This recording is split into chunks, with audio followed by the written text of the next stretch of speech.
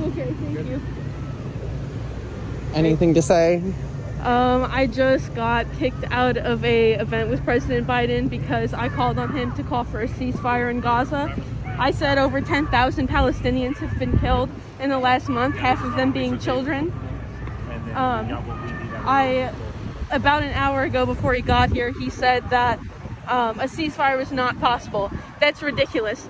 If if the United States didn't give Israel 3.8 billion dollars plus billions of dollars in weapons every single year, this would not be possible. The siege on Gaza would not be possible. And we have a crowd out here calling for a ceasefire as well that have joined us in Belvidere, Illinois. Ceasefire now.